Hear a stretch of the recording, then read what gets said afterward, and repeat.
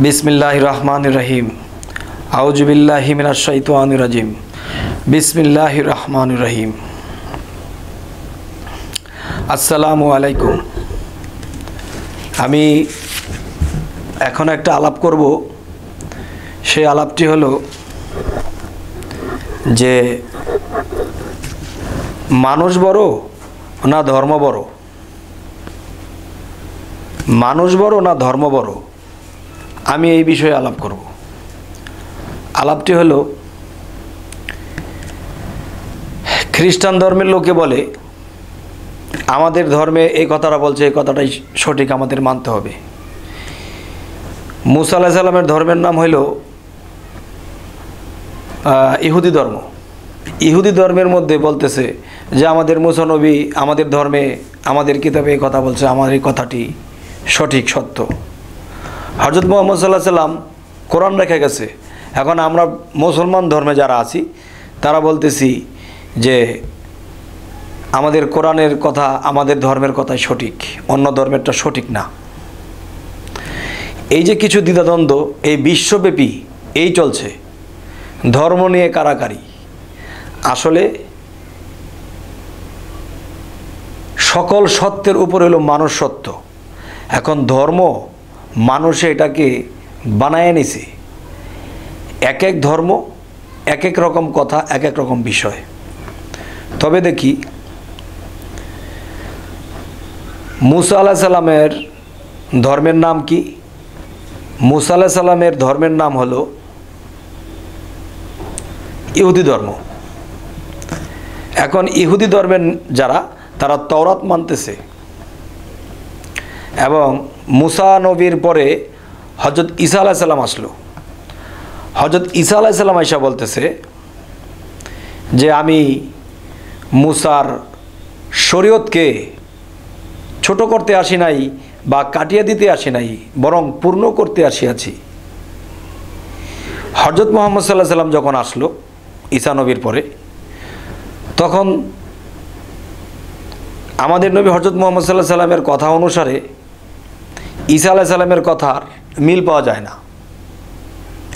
এবং মুসা আলাহ সাল্লামের কথা অনুসারে ঈসা আলাহ সাল্লামের কথা মিল পাওয়া যায় না এবং দাউদ নবীর কথাও মিল পাওয়া যায় না। এখন মানুষ কোথায় যাবে? কি করবে? এখন আমি বলব হজরত মুসানবী আল্লাহর সাথে কথা বলতেন। আল্লাহর সাথে কথা বইলা বইলা চলতেন। যেমন কোনো একটা সমস্যা, কোনো একটা কথা বা কোনো কিছু জানার দরকার হইলে তখন হজরত মুসা আলাহ সাল্লাম আল্লাহর সাথে তোর পাহাড়ে গিয়ে কথা বইলা বুঝতেন, এরপরে কাজটা করতেন। কিন্তু ঈসা আলাহ সাল্লামের ব্যাপারে দেখা গেছে, তিনি বলতেছে যে যিনি জগৎ পিতা, তিনি যা বলে আমি তা বলি, আর আমি যা বলি তিনি তা বলে। আমার পিতার সাথে আমি এক, আমার সাথে পিতা এক। আবারও হজরত ঈসা আলাহ সাল্লাম কিছু কথা বলছে। তোমার এই হাত দ্বারা যদি কোনো পাপ করো, তখন এই হাতটা তোমার দোজকে জ্বলবে। তাহলে হাত দ্বারা যদি পাপ হয়, তাহলে তোমার এই হাতটা কেটে দেওয়াই ভালো নয়, কেটে ফেলে দেওয়া ভালো নয়। চোখ দিয়ে যদি তোমার কোনো পাপ হয়, তাহলে এই চক্ষু দুইটা দিয়ে কুদৃষ্টি দিয়া যদি আমি কোনো পাপ কাজ করি তাহলে চোখ দুটো উপরে দিয়ে ফেলে দিলে ভালো হয় না? তাহলে তো আর আমার পাপ হবে না। এরপর আরও একটি কথা বলছেন, দেখো ঈসা আলাহ সাল্লাম আরেকটি কথা বলছে যে, দেখো পাখিরা গোলা জমায় না, তারা ডেলি প্রতিদিনেরটা প্রতিদিন খায়, তাদের কোনো খাবারের গোলা নাই, তাদের কি পিতা খাওয়ায় রাখেন না? কিন্তু হজরত মোহাম্মদ সাল্লাহ সাল্লাম যখন আসলো তখন দেখা যায়, তিনি কোরআন ও হাদিস অনুসারে তিনি বলে গেলেন কি? কোরআন ও হাদিসের মধ্যে কি বলে গেলেন? যে তোমরা হাত কাটিয়া ফেলে দিও না। এই হাতকে তুমি পাপ করা হইতে বিরত রাখো। তোমার হাতকে সংযত রাখো। এই হাত দ্বারা কোনো পাপ করিও না। হাত কাটতে হবে না। চোখ দিয়ে তুমি কুদৃষ্টি করো না। এই চোখ দিয়ে তোমার পাপ যেন না হয়, চোখকে সংযত করো, সাধনা করো। সাধনার মাধ্যমে তোমার চোখকে, মনকে, দিলকে, হাতকে, পাকে তুমি সংযত করো। তাহলে একজনে কি বলে গেল? চোখ দিয়ে পাপ করার চেয়ে চোখ উপরে ফেলে দেওয়া ভালো নয়, হাত দিয়ে পাপ করার চেয়ে হাত কেটে দেওয়া ভালো নয়। তাহলে আমার যদি হাতি কেটে দেই, চোখ তুলে ফেলি, তাহলে আমি কীভাবে আল্লাহকে ডাকবো, কীভাবে আমি চলবো? তাহলে হজরত মোহাম্মদ সাল্লাহ সাল্লাম এসে বলল, যে না, তোমরা সাধনার দ্বারা, আমলের দ্বারা, আল্লাহর ভয়ের দ্বারা, তোমরা হাত, পা, চোখ, নাক, কানকে সংযত করো, যেন এ দ্বারা পাপ না হয়। তাহলে এক একজন নবী ছয়শো বৎসর পর পর পৃথিবীতে আগমন হয়েছে। দাউদ আলাহিসাল্লাম আসলো, মুসা আলাহিসাল্লাম আসলো, ঈসা আলাহিসাল্লাম আসলো, ছয়শো বছর পর পর। হজরত মোহাম্মদ সাল্লাহ সাল্লাম আসলো। কিন্তু দেখা গেছে, চারজন নবীর মধ্যে এই চারজন নবী শ্রেষ্ঠ এবং চারজনের উপরে আসমানি কিতাব নাজিল হয়েছে। তরাত জবুর ইঞ্জিল কোরআন। এখন এই চারটা কিতাবই আসমানি কিতাব। আর আসমানি কিতাব মানে আল্লাহর কথা। তাহলে আল্লাহ কি কোনো ডুপ্লিকেট কথা বলে? আল্লাহ কি কখনো নয় ছয় কথা বলে? না। তাহলে মুসা আলাহ সাল্লামকে দিয়ে আল্লাহ একটা কিছু প্রকাশ করছে। এবং ঈসা আলাহ সাল্লামকে দিয়ে একটা কিছু প্রকাশ করছে। হজরত মোহাম্মদ সাল্লাহ সাল্লামকে দিয়ে একটা প্রকাশ করছে। তাহলে আমরা আমরা যদি শুধু হজরত মোহাম্মদ সাল্লাহ সাল্লামকে মানি, আর অন্য নবীকে মান, মানব না, বা অন্য ধর্মকে মানব না, বা অন্য ধর্মের জ্ঞান আমরা নেব না, তাহলে এটা আমাদের ভুল হবে। কেননা আমরা যখন কালেমায় ইমানে মুফাসসাল পাঠ করি তখন কালেমা ইমানে মুফাসসালের মধ্যে আসছে যে আমরা চার নবীর উপর ইমান আনলাম, কিতাব, চারটা কিতাবের উপর ইমান আনলাম ফেরেস্তা সকলের উপর ইমান আনলাম। তাহলে চারটা কিতাবের উপর ইমান আনছি, তাহলে আমি খ্রিস্টান ধর্ম ঈসা আলাহ সাল্লামের উপরে ইঞ্জিল শরীফ আল্লাহ অবতরণ করছে। তাহলে আমি যদি বলি খ্রিস্টান ভালো না, তাহলে আল্লাহ নবী ঈসাকেও বাদ দেওয়া হইল। ঈসার ধর্মকেও বাদ দেওয়া হইল। যদি বলি মুসা ভালো না, মুসার কিতাব তওরাত ভালো না, মুসার ধর্ম ভালো না, তাহলে এদেরকেও বাদ দিতে হবে। কিন্তু কালেমার মধ্যে তো এদের চারজনের নাম আছে যে চারজনের উপর ইমান আনতে হবে, চারটা আসমানি কিতাবের উপর ইমান আনতে হবে। তাহলে আল্লাহ বলতেছে ইমান আনতে, এদেরকে বিশ্বাস করতে। আর আমরা বলি কি, অন্য ধর্মকে আমরা গিবোধ করি। না। তাহলে আসি যে মুসা আলাহিসাল্লাম তিনি আল্লাহর সাথে বেশি বেশি কথা বলতো। তিনি একটু বোকা মানুষের মতো এবং একটু তোতলা ছিল তিনি। আল্লাহর সাথে বেশি বেশি কথা বলতো আর আল্লাহ তার সাথে আনন্দে কথা বলতো। তখন যদি কোনো সংসারের মধ্যে পাঁচজন, সাতজন সন্তান থাকে, এর মধ্যে কোনো ছেলে পেলে যদি একটু বোকা টাইপের থাকে বা একটু তোতলা থাকে, তখন বাপ মায়ের সাথে একটু বেশি কথা বলতে হয়, ভালো করে বুঝাই দিতে হয়। তখন এই মুসা আলাহিসাল্লামকে দিয়া যা কিছু বোঝাইল, এই পৃথিবীতে যারা তরিকত নিল প্রথম প্রথম স্টেপ যারা নিল, তখন তারা দাউদ নবীর গুণাগুণ তাদের মধ্যে আসে। তারা মুর্শিদের গুণগান করে। দাউদ নবী কী করছে?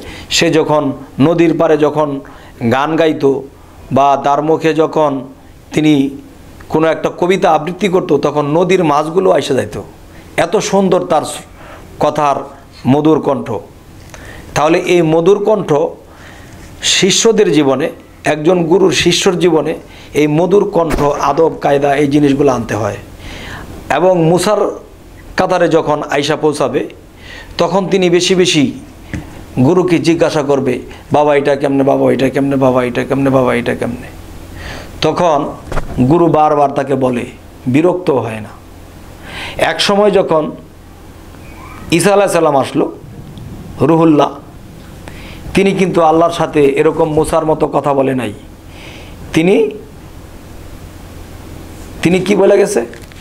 আমার পিতার সাথে আমি এক, আমার সাথে পিতা এক। আমার যা, আমার পিতা যা বলে, আমি তা বলি, আমি যা বলি, আমার পিতা তা বলে। আমার পিতার সাথে আমি এক, আমার সাথে পিতা এক। তাহলে তিনির ভাবটা আরও উচ্চস্তর। তখন এই ভাব প্রকাশ করে গেল এবং বৈরাগ্য ভাব তিনি দেখায় গেল যে কেউ যদি বৈরাগ্য ভাব নিতে পারে, তিনি আল্লাহর প্রতি খুব তাড়াতাড়ি উঠতে পারে। ঈসা আলাহ সাল্লামের দ্বারা মৃত লোকও জীবিত হয়েছে। ঈসা আলাহ সাল্লাম যা বলছে তাই হয়েছে। অন্ধের চোখে হাত দিছে, অন্ধ ভালো হয়ে গেছে। এরপর আসলো মোহাম্মদ রাসুল্লাহ আরও ছয়শো বছর পর।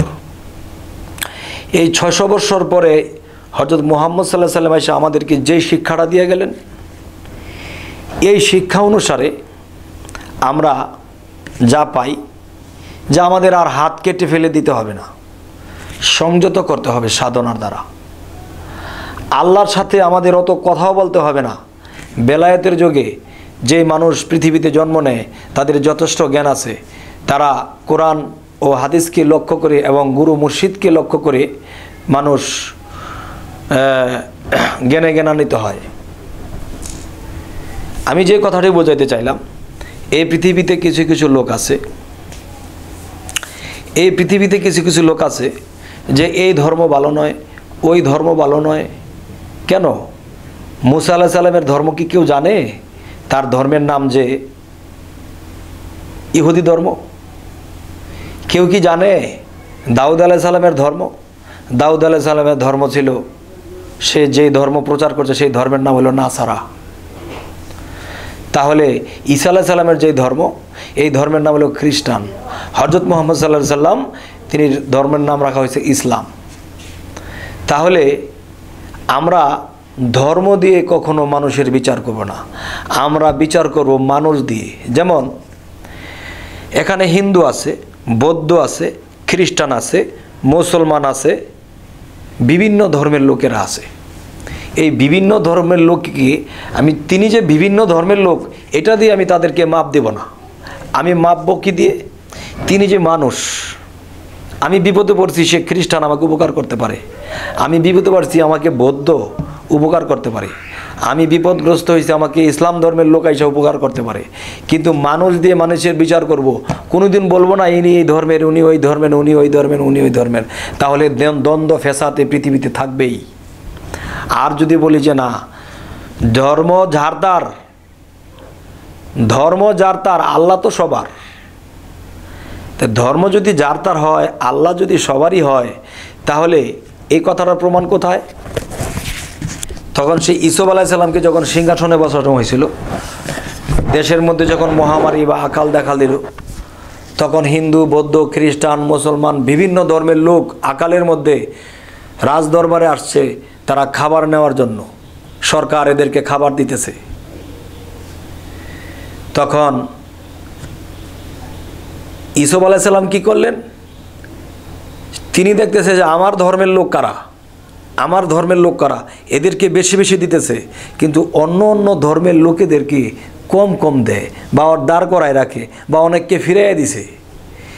তখন এই অবস্থা দেখা আল্লাহ বলল কি, হে সব তুমি যদি এরকম করো, তাহলে তোমার নবুয়াদ টিকবে না, তোমার সিংহাসন আমি টিকায় রাখব না। কেন? যে হিন্দু, বৌদ্ধ, খ্রিস্টান, মুসলমান, আমি সকলকেই দেখি সমান, আমি সকলকেই খাওয়ায় রাখি, আর তুমি তোমার ধর্মের লোকদেরকে বাচ্চা বাচ্চা দিতেছো অন্যকে বেশি, আর অন্য ধর্মের লোকের কম দিতেছো, কেন? আমি তো নয় ছয় করি না, তুমি নয় ছয় করতেছে কেন? ধর্ম দিয়ে মানুষের বিচার করা হইতেছে এই জন্য আল্লাহ ধমক দিছে। তখন ইসব আলাইসাল্লাম কি করলেন? সবাইকে সমান বন্টন করে দিতে শুরু করলেন। আমার এই কথাটি বলার উদ্দেশ্য হইল যে আল্লাহ তো সকল ধর্মেকে সমান দেখে। যদি কেউ গড বলে ডাকে, ঈশ্বর বলে ডাকে, ভগবান বলে ডাকে, আমরা যদি আল্লাহ বলে ডাকি, তাহলে মূলত তো বিভিন্ন নাম তার ব্যক্তিত্ব সে একজন। তাহলে একজনকেই বিভিন্ন নামে ডাকা হয়। তো বিভিন্ন নামে ডাকা হয়, তিনি তো সবার ডাক নেয়। সবাইকে সমান দেখে। কিন্তু আমরা যদি দেখি এদিক সেদিক, তাহলে আল্লাহর মনোনীত আমরা কখনো হতে পারব না। যদি দশ হাজার বৎসর বা দশ কোটি বৎসর যদি আমরা এই পৃথিবীতে বাঁচিয়ে থাকি, তবু কখনো আল্লাহর মনোনীত হইতে পারব না। আজকে এই কথাগুলো বলার উদ্দেশ্য আজকে এই কথাগুলো বলার উদ্দেশ্য হইল যে মানুষ ধর্ম দিয়ে যখন মানুষের বিচার করে, তখন মানুষ উশৃঙ্খল হয়। তখন মানুষ ব্যবিচারী হয়। নিজের ধর্মকে বড় করতে যাইয়া অনেক লাঠির বাইরে বাড়িও হয়। তাই আমি বলতে চাই, ধর্ম যার তার, আল্লাহ সবার। আপনাদের ভালো লাগে? হয়তো কমেন্টে বলতে পারেন। যদি দয়া করে আসেন, কথা বলব। বোঝার আছে, জানার আছে, শিক্ষার শেষ নাই। এই বলে আমি আজকে রাখলাম। আল্লাহ হাফেজ।